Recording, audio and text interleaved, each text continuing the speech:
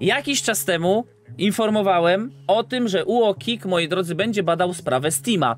No bo na Steamie największa ilość jest użytkowników, w milionach liczona, online i masakryczne pieniądze tam są. Ale te ceny, przede wszystkim dla nas Polaków, były za wysokie i po prostu my Polacy względem całego świata byliśmy stratni na przykład na tych usługach, które oni tam em, oferują. No i, no i drodzy, po jakimś czasie, gdy było cicho, Taki news, moi drodzy, na IT Hardware się pojawił. Valve manipuluje rynkiem. Pojawiają się ciekawe informacje o Steam. Proszę bardzo. Steam to potężna platforma cyfrowa z grami na PC. Valve to jednak e, Valve jest jednak oskarżane o łamanie przepisów antymonopolowych i niszczenie rynku, czy nawet manipulowanie nim. Ostatni zarzut pochodzi z procesu, jaki wytoczono firmie. Dokumenty złożone w pozwie przeciwko Valve ujawniają m.in. stan zatrudnienia czy informacje dotyczące wypłat dla pracowników. Dane zostały częściowo zredagowane, ale dalej zawierają pewne detale pochodzące z lat 2009 do 2021. W całym Valve zatrudniono 336 ludzi, z czego przy samym Steamie działa jedynie e, 79. To mało jak na tak ogromną platformę, na której co roku wydawanych jest ponad 10 tysięcy gier. Wow, ej, to jest 10 tysięcy gier co roku wychodzi. No, to nawet nigdy nie szacowałem, ile ty tysięcy gier wychodzi na Steamie.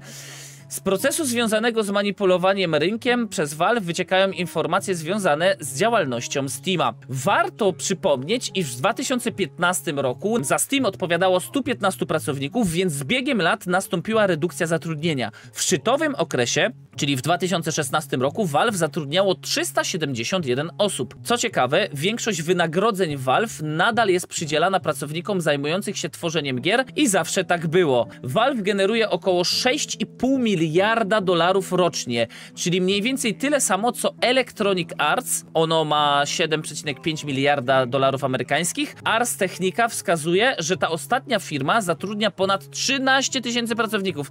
Czyli, że Steam ogólnie zatrudnia bardzo mało pracowników. To jest ciekawe, bo ja nigdy się nie zastanawiałem nad tym, ilu pracowników oficjalnie pracuje. E, znaczy na Steam, Valve, dla Valve. Nie dla Steam, tylko dla Valve. E, bo, bo Valve to jest firma główna, a e, wydaje też gry i oprogramowanie, a Steam ogólnie to, to jest aplikacja i usługi, nie? Co ciekawe, płace brutto Valve utrzymują się stosunkowo stałym poziomie, bo od 2017 dane skorygowane o inflację wskazują, iż korporacja wydaje rocznie około 425 do 450 milionów dolarów na koszty związane z personelem. Sam proces, który ruszył, ruszył w czerwcu w Wielkiej Brytanii, jest związany z rzekomym manipulowaniem rynkiem gier przez Valve za pomocą Steam. Chodzi o sztuczne zawyżanie cen produktów. W ramach rekompensaty Valve miałoby zapłacić 840 milionów dolarów. I teraz, co jest ciekawe, bo my informowaliśmy też i informowały media, że ta sprawa oczywiście wyruszyła tam w czerwcu, ale u nas w Polsce nasz urząd, który się nazywa UOKiK, czyli ten urząd do badania spraw związanych tam z reklamą, konsumenty, e, sprawami konsumenta i tak dalej, e, jeśli chodzi o ochronę praw konsumenta, to u nas w Polsce Valve też wystosowało działania, zastosowało jakieś już tam prawne kroki, żeby sprawdzić ze względu na polskiego konsumenta, bo jeżeli jakaś rzecz mm, działa na przykład na terenie Polski, ale przede wszystkim Unii Europejskiej, no to na przykład taki gigant, który jest z zagranicy, no musi się pod jakieś prawa e europejskie e, gdzieś tam wkręcić.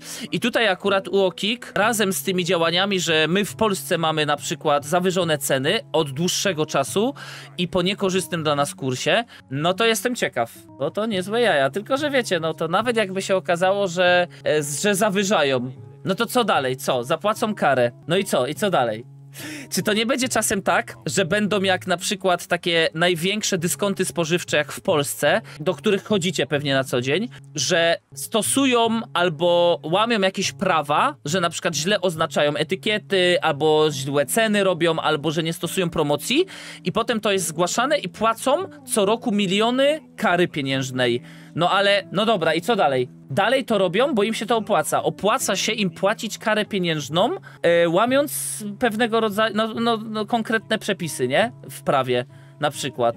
Łamią jakieś tam prawo konsumenckie, czy o reklamy, czy o jakieś inne rzeczy związane z promocjami. No i łamią to, ale im się to opłaca, bo wpisują sobie to wręcz w koszty, że im się to opłaca e, łamać, bo i tak na tym wyjdą na plus. No, i to jest dziwne bardzo zachowanie. No zobaczymy, no. Zobaczymy, moi drodzy. No ja jestem ciekaw bardzo, bo akurat te informacje, że pracuje 370 pracowników, to no nic mi to nie dało, no. Co mi to dało? Nic mi to nie dało. Ale moi drodzy, w Electronic Arts pracuje 13 tysięcy pracowników. Wiecie na co idą wasze pieniądze, jak kupujecie fifkę kolejną, albo pakieciki, albo dodatek do Simsów. Ja pierdzielę, 13 tysięcy pracowników Electronic Arts pracuje.